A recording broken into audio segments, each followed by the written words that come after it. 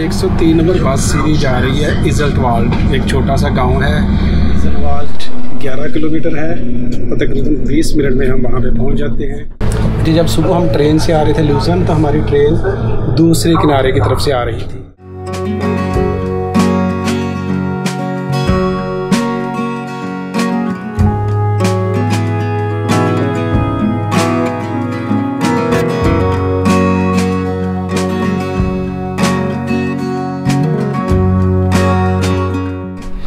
हमारा वर्ल्ड का टूर भी अख्ताम पजीर हुआ।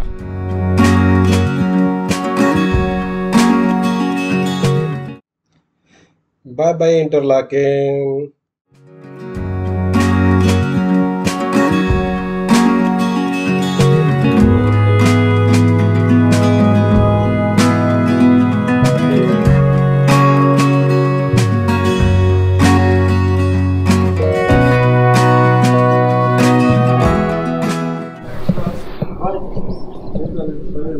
Hello, sir.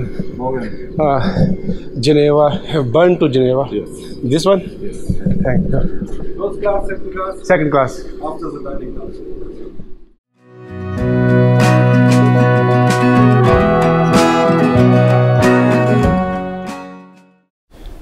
अलकुम good morning friend और बाय बाय इंटरलाकन से चार बज के अठावन मिनट पे हमारी यहाँ से ट्रेन है और ये हमें लेके जाएगी सवा आठ बजे के करीब जिनेवा। अब हमारा यहाँ पे एक ट्रांसफ़र होगा। वो ट्रांसफ़र है हमारा एक घंटे के बाद। बर्न में। वहाँ से हम अपनी ट्रेन चेंज करेंगे और फिर मज़ीद दो घंटे सफ़र करने के बाद हम पहुँच जाएँगे जनेवा। हम जनेवा सेंटर पे भी उतर सकते हैं और जनेवा सेंटर में अगर थोड़ी बहुत जगह हमने देखनी होगी तो वो देख के दोबारा जो एयरपोर्ट पे ट्रेन जा रही है उसमें बैठेंगे और अपनी फ़्लाइट का इंतज़ार करेंगे बड़ा बिज़ी दिन गुजरा हमारा कल वाला भी और आज का दिन भी हमारा काफ़ी बिज़ी होगा करते हैं आपके साथ share Good. Good. Yes. Good. Yes.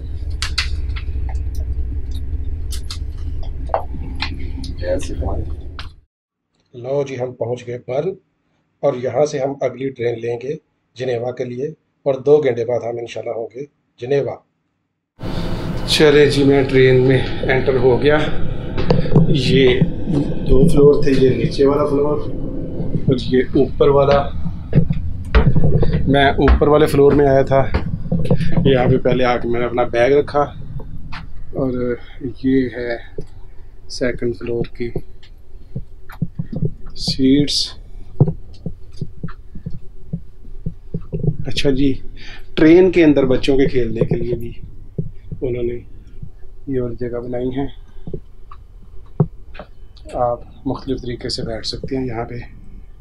अगर आप चार हैं, पाँच हैं तो फिर भी आप बैठ के गपशप लगा सकते हैं, सिंगल है, वो भी। ऑप्शन उन्होंने बेशुमार बनाई हैं।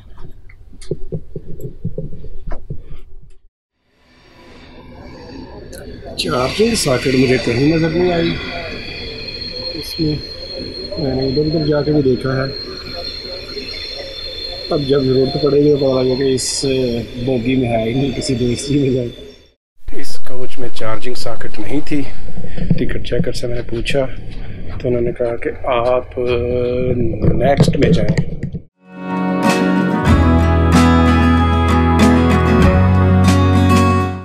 अच्छा इंटरलाकन हॉस्टल में जो रुके थे तो मेरी ट्रेन सुबह सुबह की थी।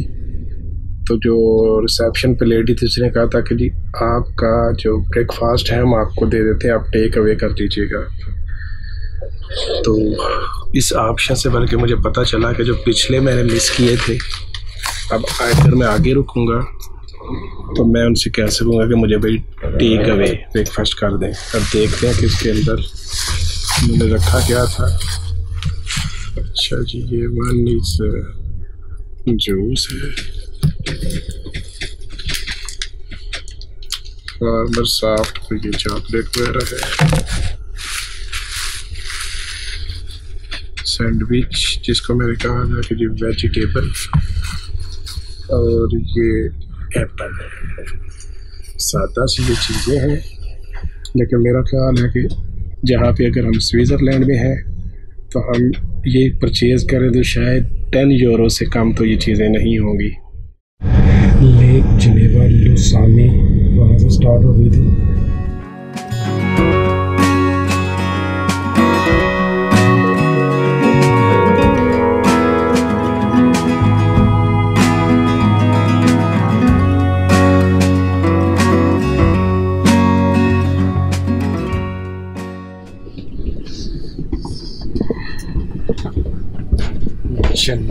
Geneva Central.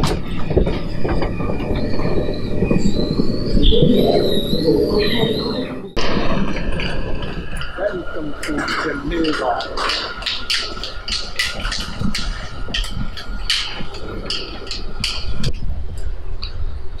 चले जी, पहले अपना मोबाइल निकाल के थोड़ा सा मैप देख लो थोड़ा सा रम के रम के सिटी के अंदर घूम बहुत से यूरोपियन सिटी मशहूर हैं अपनी रिच हिस्ट्री और एंशियंट ओरिजिन की वजह से, और जिनेवा उनमें एक है।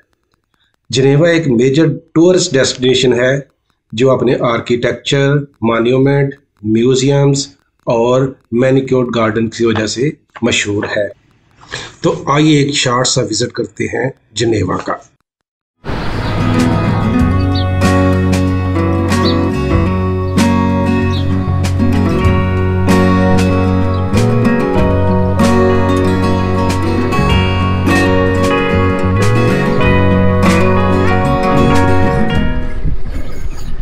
जब सारा शहर मोस्टली सो रहा होता है तो हम जाग रहे होते हैं।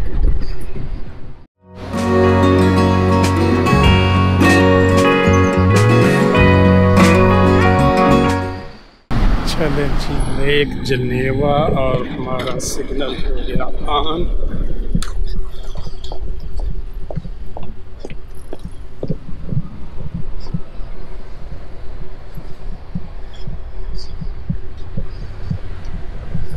इस वक्त जब सूरज निकल आता है तो सारे रंग उड़ा के ले जाता है, सिर्फ़ एक रंग रह जाता है और वो होता है सूरज का अपना रंग।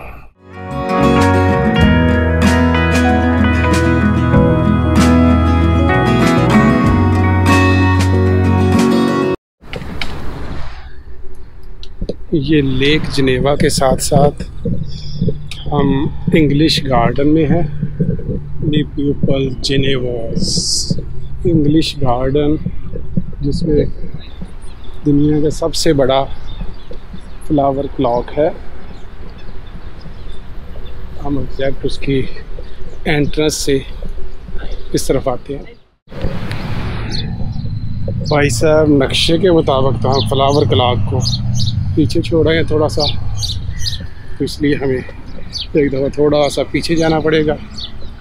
मेरा ख्याल है वो लोकेशन जो है ना थोड़ी सी अप एंड डाउन वही होगी। लेट्स मूव चले जी, हम फ्लावर क्लाक तक आ गए, लेकिन मुझे नहीं पता तो कहते थे कि ये यूरोप का सबसे बड़ा फ्लावर क्लाक है। इससे बड़ा तो कल हमने कसिनो कोल्लास इंटरलाकन में देख लिया था, लेकिन इसकी जो चंद एक खूबियाँ हैं, वो मैं आपको बताता हूँ, ये देखें पहले। अच्छा जी, इसके लिए ये कहा गया है कि इसमें जो फ्लावर्स वगैरह लगाए गए हैं ना, वो इस तरह लगाए गए हैं कि हर सीज़न में डिफरेंट कलर्स के फ्लावर्स जो है ना, वो यहाँ पे उगते हैं। मतलब जो फ्रेश हो जाते हैं तो हर सीज़न में इसकी जो है ना लुक वो डिफरेंट होती है। इस वजह से इसको ये वाला प्लान किया गया।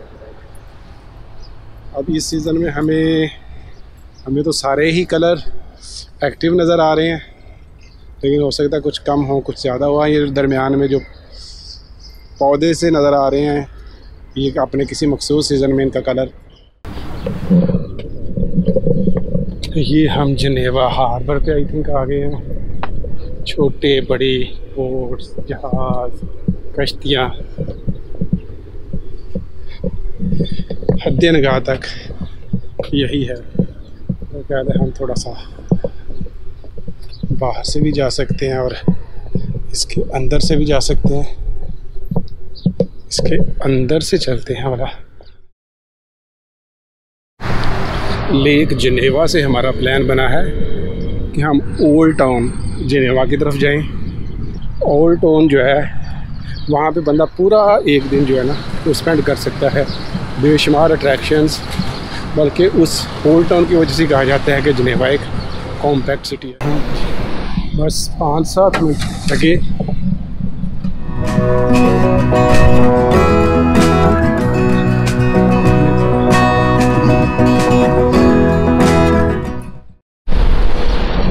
ये हमारे रास्ते में आ रहा था प्लेस पीला मेडलियने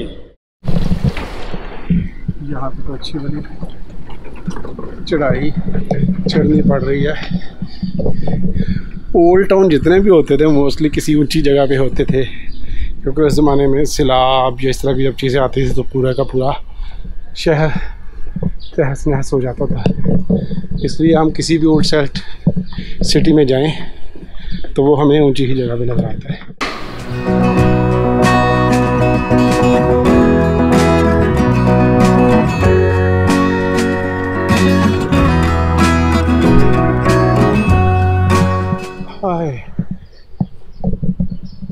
It's a government building? Is it a what? It's a A tribunal?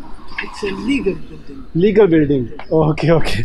Ah, legal building, yeah, justice. Justice. Okay, Saint Pierre के करीब ये पूरे बिफोर एक स्केयर है छोटी सी स्केयर है लाइवली स्केयर है यहाँ पे सेंटर पॉइंट में है और ये शुरू से ही कल्चर है कि लोग यहाँ पे आके बैठते हैं और गपशप करते हैं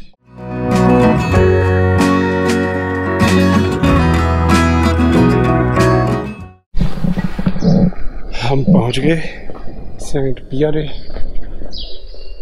अभी मैं ज़रा उस स्टूल तक जाके अपना सामान सेट कर लूँ और फिर मैं आपको इसके बारे में कुछ बताता हूँ। अच्छा सेंट पियरे जो है ना, ये एक लैंडमार्क है जिनेवा के अंदर। पुराना चर्च है। इसका इस तरफ़ से ये मेन इसके पिलर्स नज़र आ रहे हैं और इसका जो मीनार वगैरह था, वो उसके दूसरी तरफ़ से नज़र आता था। मैंने आपको दिखाया है। अच्छा जी, यहाँ से हम जाते हैं जनेवा की आखिरी अट्रैक्शन सिटी सेंटर के अंदर ही ओल्ड ओल्ड टाउन के अंदर ही रिफॉर्मेशन वाल ये वो वाल है कि जिन लोगों ने रेस्टोरेशन वर्क किया है रिफॉर्म की हैं जनेवा की लाइफ के अंदर उनको खराज रस्सी पेश किया गया। ये एक बहुत मशहूर पार्क था पार्क डेस बास्शन और इसके अंदर ही वाल है।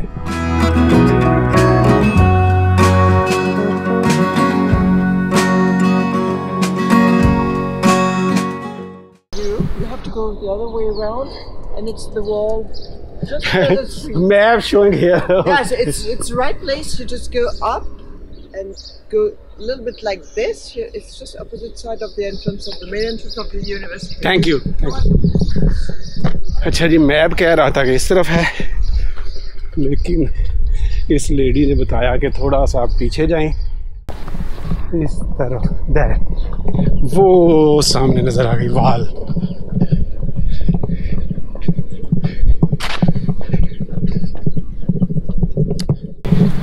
रिफॉर्मेशन में किसी भी लिहाज से काम किया था। ये 1602 से वो उसका क्रोम वैली जॉर्ज विलियम्स इन्होंने पंद्रह सौ उनसठ में कुछ काम किया होगा।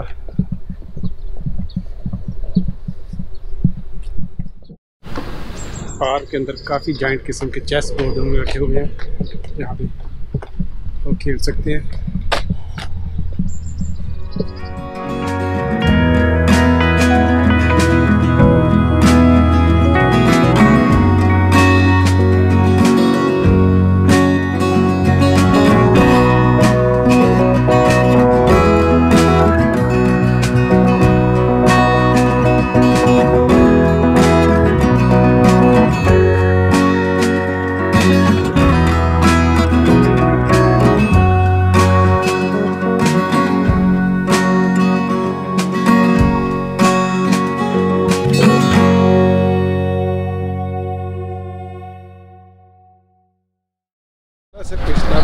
ये रास्ता हमें सीधा लेक जनेवा, बल्कि लेक जनेवा का जहाँ पे वो रोनी रोनी रिवर उसके अंदर घिरता है। वहाँ लेके जाएगा। लेकिन ये दूसरा पुल है। पहले जिस पुल के ऊपर से हम आए थे, वो डिफरेंट था। ये उससे थोड़ा सा जिस तरह मैं जा रहा हूँ, ये लेफ़्ट साइड इसको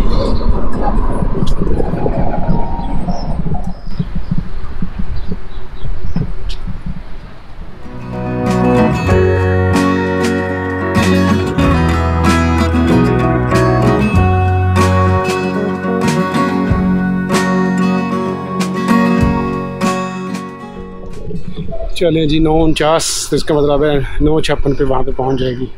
और बाकी वहाँ पे देखते हैं क्या काम होता है। चार नंबर पे मैंने कई दफ़ा पढ़ा था, वो लिखा हुआ भी था। अब ये तीन नंबर प्लेटफार्म पे आ गया था। अच्छा प्रीवियसली हमारा प्लान था कि या ज्यूरिक से या जनेवा से पहुँचना था माल्टा तो जब माल्टा की मैं डायरेक्ट फ़्लाइट सर्च कर रहा था तो वो काफ़ी एक्सपेंसिव नज़र आ रही थी। जब मैंने थोड़ा सा गौर किया तो जनेवा से नीस और नीस से माल्टा वाली वो सस्ती पड़ रही थी। और जब मैंने नीस को देखा तो नीस के साथ ही एक सिटी मुल्क है, मोनाको, दुनिया का दूसरा छोटा कंट्री है। और तो मैंने कहा कि चलो उसको भी हाफ़ डे वन डे में इजीली वो कवर हो रहा है तो मैंने ये वाला प्लान कर लिया। तो अभी मैं जा रहा हूँ जिनेवा एयरपोर्ट वहाँ से नीस मनाको फिर नीस और फिर अगला प्लान करेंगे।